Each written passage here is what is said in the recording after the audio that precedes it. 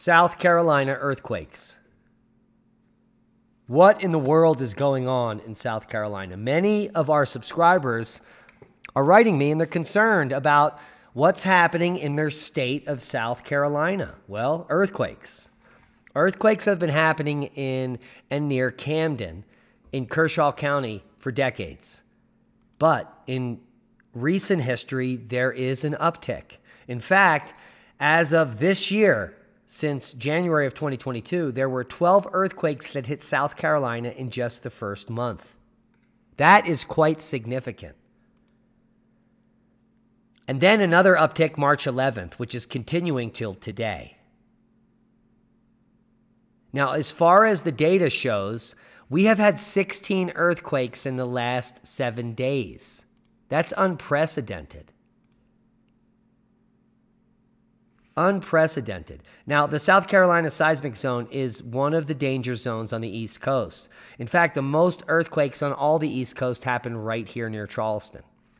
The second area is the Southern Appalachian seismic zone. This is on the mountains.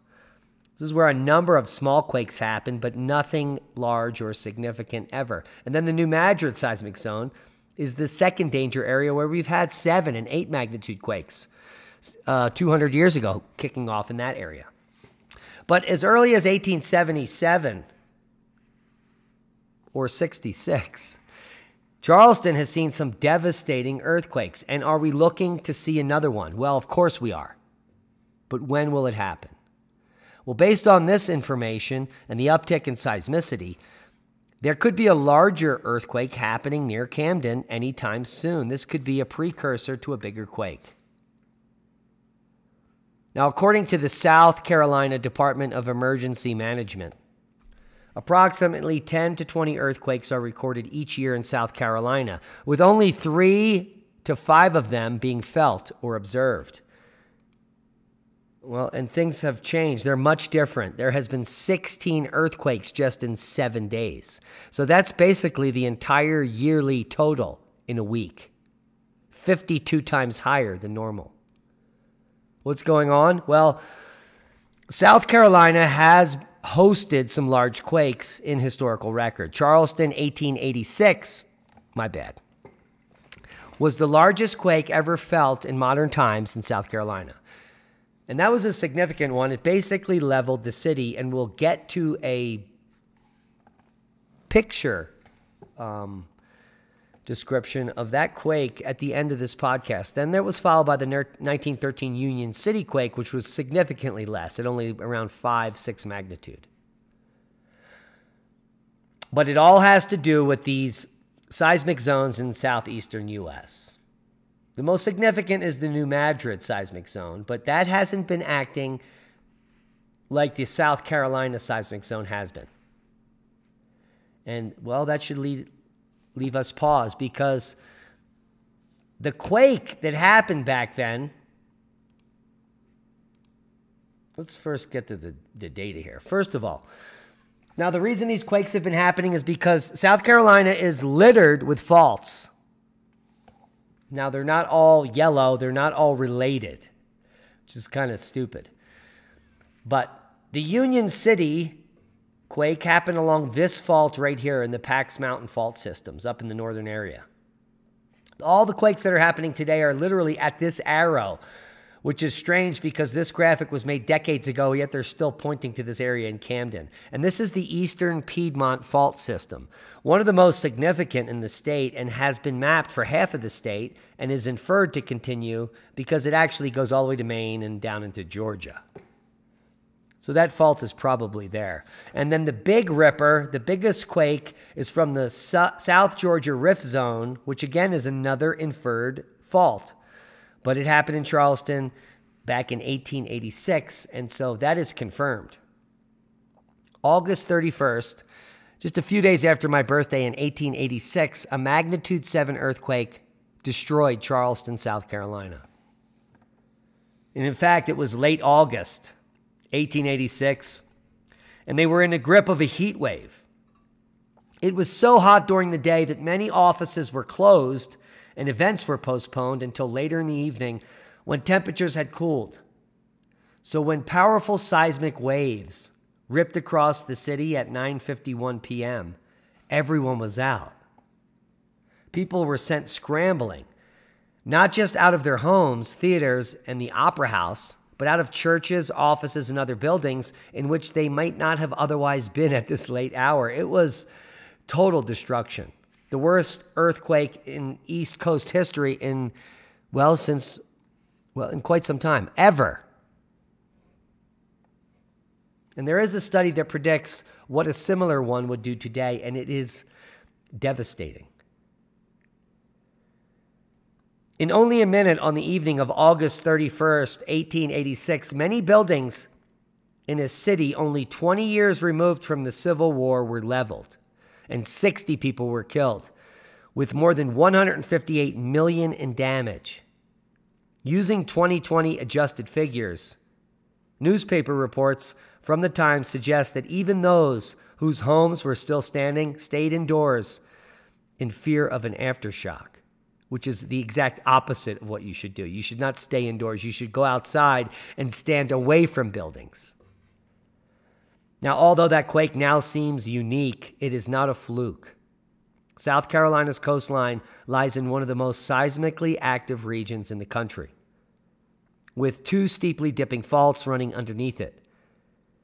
The northeast trending Woodstock Fault is considered the deeper one by geologists, while the shallower Ashley River Fault runs to the northwest.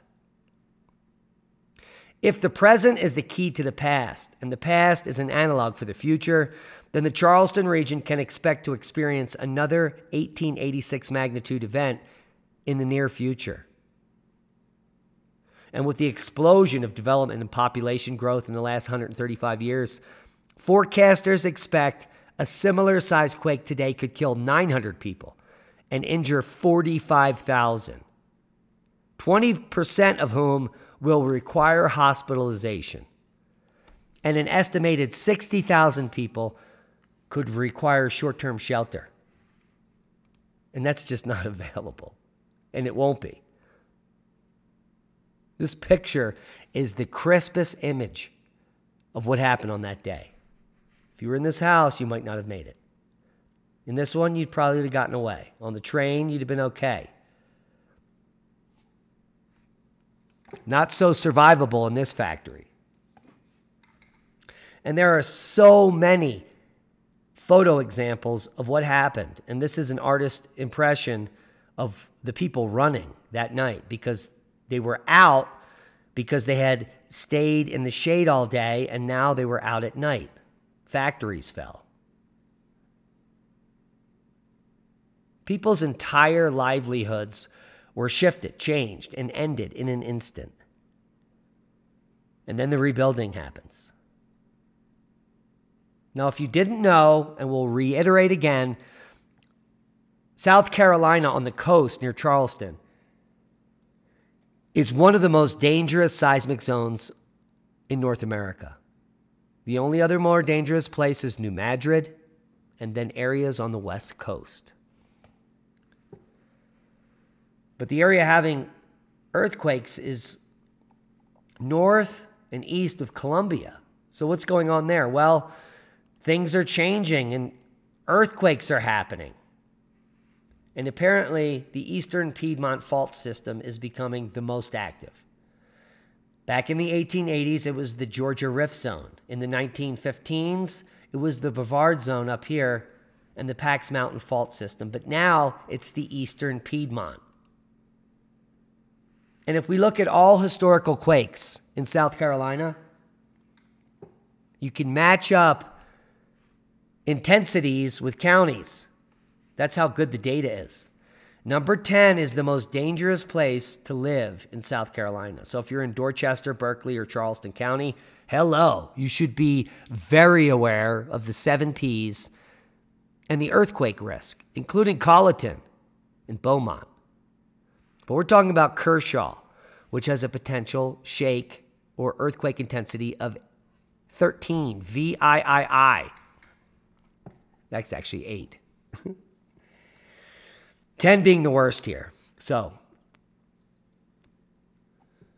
Eight is pretty close to 10, and nine is only Colleton, which is because it's close to Charleston.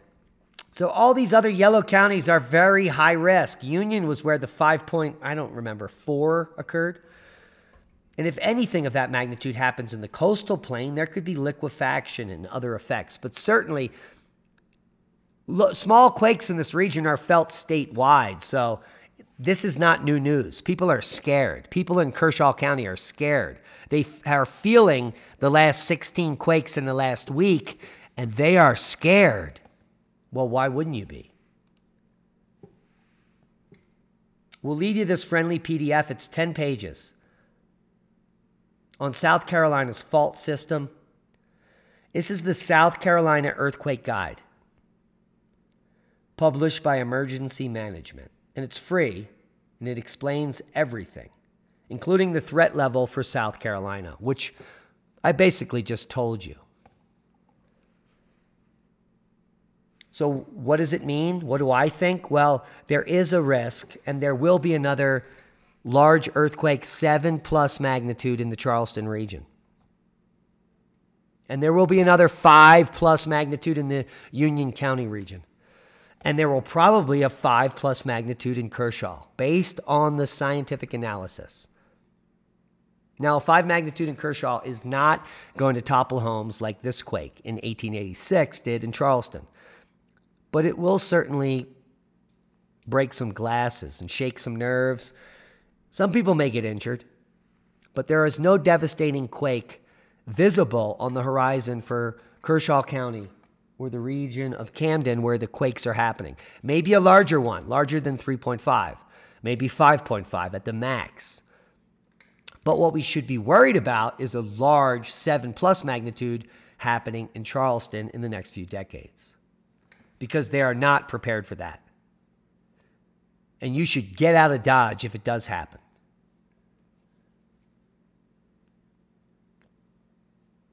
Could there be a larger quake in Camden? Yes. Are these precursors or pre shocks to a bigger quake? Probably. And that's our position. We think a large magnitude quake is going to happen in this region soon. And when we mean large, we it's actually moderate. But for the East Coast, it will be large. This is larger than five magnitude in the Camden area, but less than six. And that's good news. And that's a boom to knowledge. Now, if you're worried or you're living in the Charleston area and you want to be prepared, you can always support the channel by going to preparewiththeranch.com. 25 year long term survival food, the best selling food in the world for this purpose. Ready Hour. This is coming from My Patriot Supply. And you could save $50 a month for every month you buy. So you save 150 for the 3 month package 50 bucks for the four, one month package, and it gives you peace of mind. So if you have to quick bug out, you throw the bucket in the back of the car and you roll. And if you have to camp for the month, you don't even have to go to the store. There might not be electric. What if you can't get out? You set up the tent, you boil some water on the stove, and you cook your survival food and you make it. It's that simple. We love each and every one of you. Thanks to our one time donors, our Patreons, the heroes that share this video. We love you. Be safe. And that's a boom.